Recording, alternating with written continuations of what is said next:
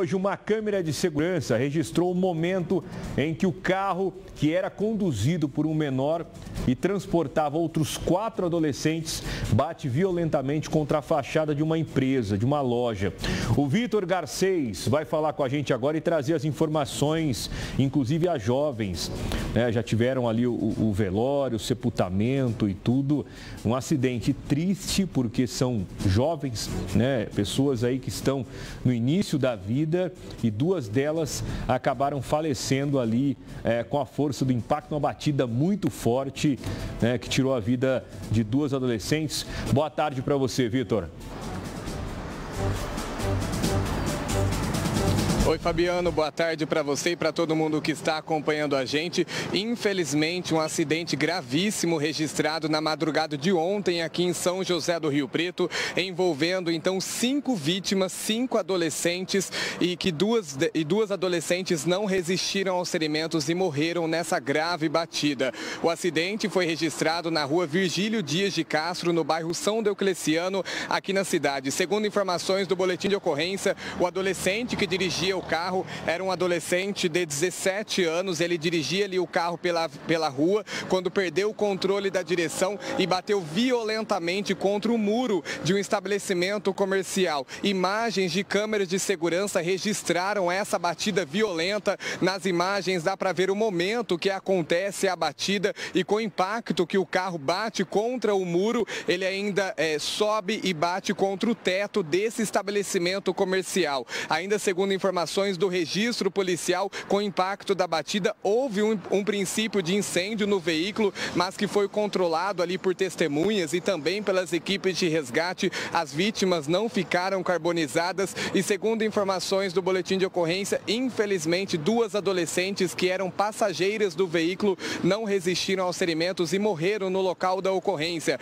As vítimas são as adolescentes Ana Luísa Oliveira Fernandes, de 16 anos, e Giovana Giovana Souza de Oliveira, de 17 anos. As duas, como eu disse, eram ocupantes aí, passageiras desse veículo que era conduzido por um adolescente de 17 anos. Todos o, todas as vítimas né, desse grave acidente eram adolescentes aí na faixa de 15 a 17 anos. Além do motorista, outros dois passageiros foram socorridos em estado grave, encaminhados para o hospital de base aqui em São José do Rio Preto. E Fabiano, eu, eu entrei em contato com o hospital de base agora há pouco, confirmei com, com o HB as três vítimas desse acidente, as três vítimas que sobreviveram, continuam internadas aqui no hospital de base. É, é, o estado de saúde das vítimas é estável e requer cuidados. Além das equipes de resgate, a perícia também esteve no local lá do acidente. Um laudo deve ser emitido nos próximos dias para saber as causas, então, aí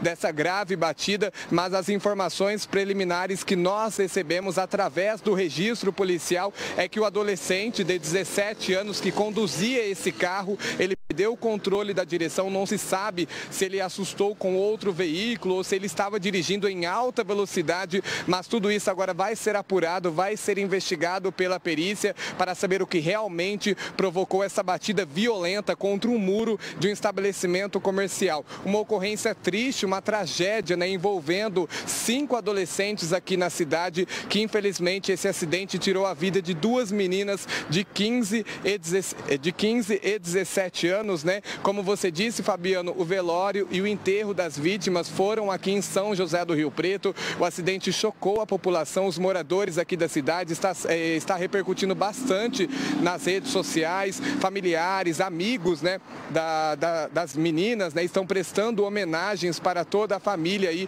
porque é bastante triste, é uma tragédia envolvendo aí esses cinco adolescentes. Três dos cinco que estavam dentro desse carro continuam, internado, continuam internados em estado grave no hospital de base aqui de São José do Rio Preto. Fabiano. Pois é, a gente é, tem os detalhes dessa ocorrência que chamou atenção aqui em Rio Preto no final de semana.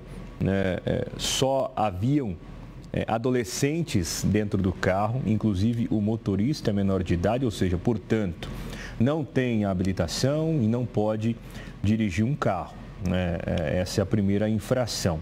A velocidade é, que vai ser é, averiguada pela perícia que foi feita no local também é, pode ter aí é, participação no acidente, a gente vê que dois carros, além do carro que sofre o acidente, aparecem nas imagens estão bem é, numa velocidade bem abaixo do que aparenta, aparenta estar o carro que bateu.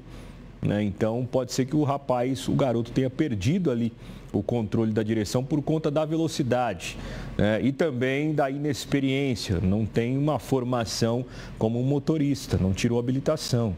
Né? Tudo isso vai ser averiguado agora em um inquérito policial. A polícia precisa apurar é, o que aconteceu. A perícia foi no local, né, registrou tudo e um laudo pericial também vai ser emitido para tentar apontar o que levou esse adolescente a sair da, é, da rua ali invadir a calçada, bater violentamente contra o muro de, é, dessa loja é, como o Vitor falou, né, o carro chegou a, ter, a registrar um princípio de incêndio. É, existem outros vídeos que a gente optou por não colocar é, é, na, no programa, né, que mostram ali é, pessoas auxiliando as vítimas logo após o acidente. O carro pegava fogo, muita fumaça, né? Então as pessoas tentaram fazer ali o socorro imediato para primeiro tirar as vítimas de dentro do carro, já que o carro é, é, começou a pegar fogo, pelo menos um início ali, um princípio de incêndio. Um acidente triste, Vitor, envolvendo cinco é, adolescentes aqui na madrugada de São José do Rio Preto.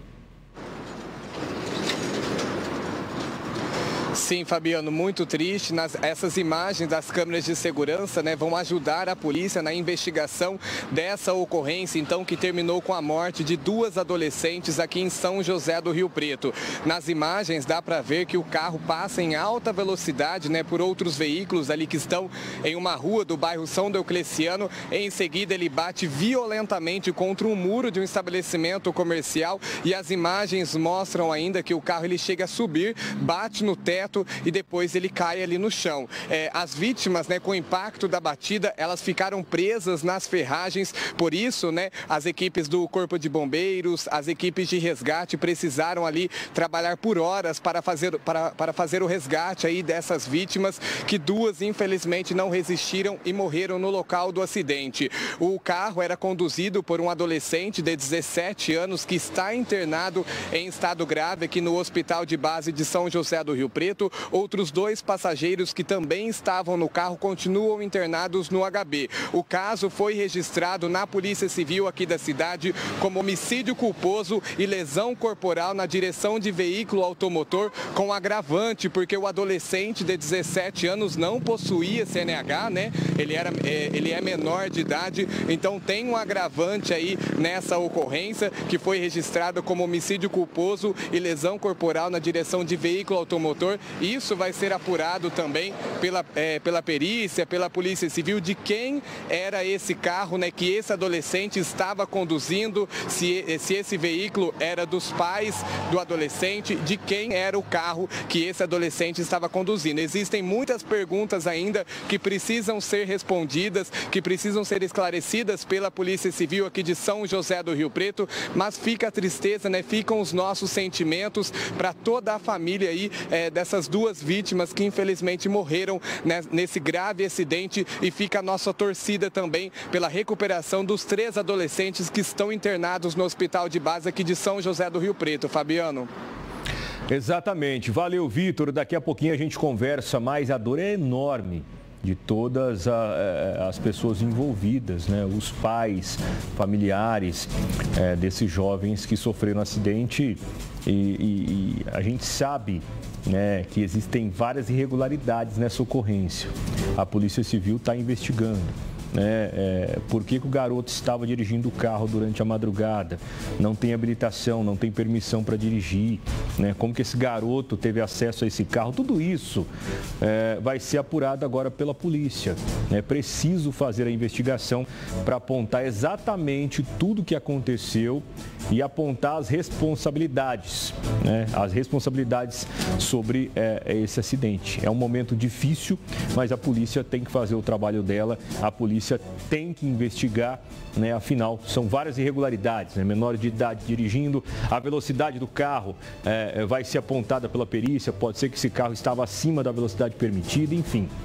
É, é, tudo isso contribui para esse desfecho trágico registrado aqui em São José do Rio Preto. Qualquer novidade sobre esse caso, a gente traz aqui na programação da Band Paulista.